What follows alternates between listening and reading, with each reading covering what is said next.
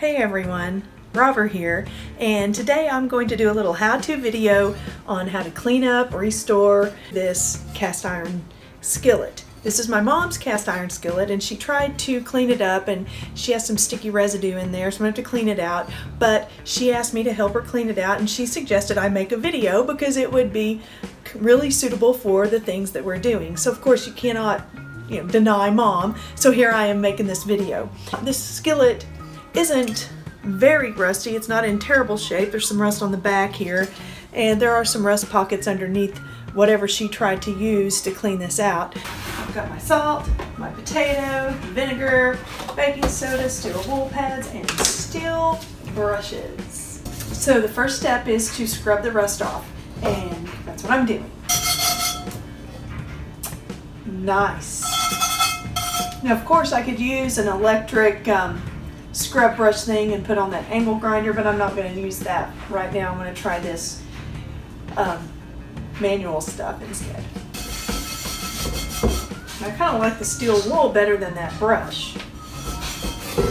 E-Chip came in and looked at my progress and so we decided to go on to the vinegar and baking soda phase and then scrub it. I don't know, it looks like it's doing a much better job than the other things that I was using. So that's what I'm doing now. That's a lot of rust. Yes, this thing was much, this was in much worse shape than I thought. It's very rusty. There's a lot of hidden rust underneath that gun. So I guess I'm just going to be scrubbing and scrubbing. So here's a little bit of a look at what I've been doing so far. I'm still scrubbing away. I could really probably make easy work of it if I use something mechanical, but I'm not.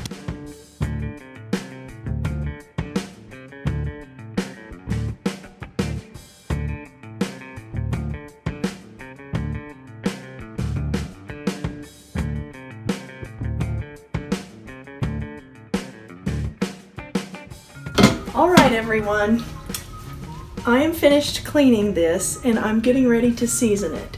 I basically alternated the vinegar, baking soda mixture, and then the coarse sea salt. And I just scrubbed and scrubbed it, mostly with this little bitty wire brush.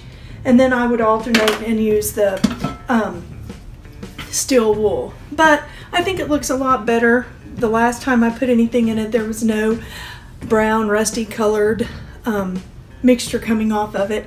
So I think it looks pretty, pretty good. So now I'm gonna season it and then hopefully it'll be all good to go.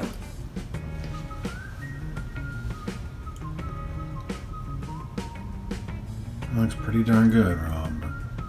Think I did okay? You did a great job.